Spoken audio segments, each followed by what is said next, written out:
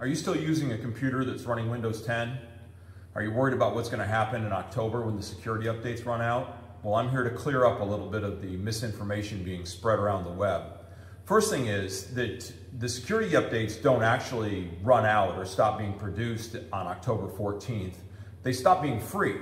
You can continue to use Windows 10 and get security updates from Microsoft. Now you need to pay $61 a year in order to keep your computer safe and updated with all of the latest security patches.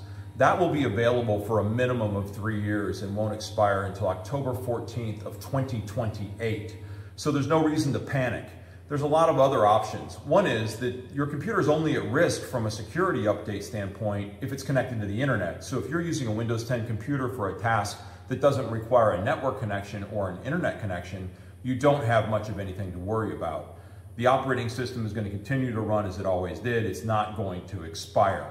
If you've got a computer that you like that's running Windows 10 and you want to have an internet connection and it isn't eligible to be upgraded to Windows 11, you have the option to install an operating system like Linux Mint. If none of that works for you, uh, Discount Electronics would be happy to sell you a Windows 11 computer or laptop at a significantly discounted price, but uh, you've got plenty of time to make that decision and there's no reason to panic at all.